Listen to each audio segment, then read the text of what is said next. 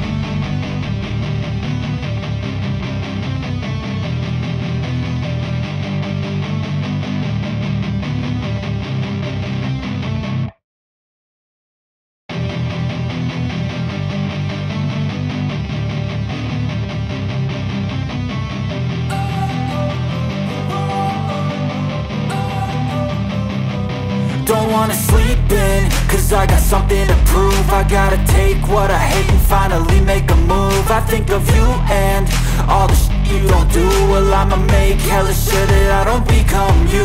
I have no regrets, yeah, I'll tie up my chest. I'll never forget what it's like to be in debt. Been stabbed in the back bed, I'll show you what happens. Pass me the mic and I'll show you with action.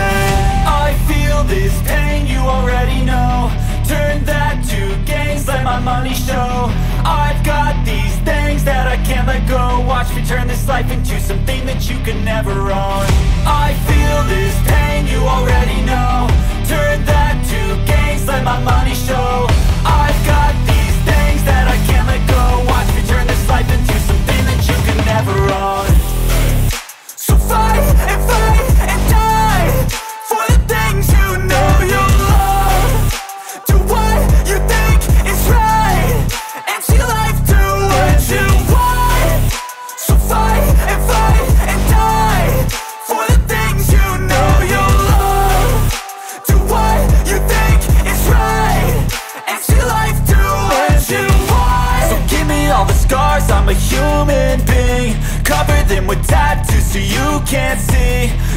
From the start, you had problems with me And the things I could be, I just wish I had seen. I feel this pain, you already know.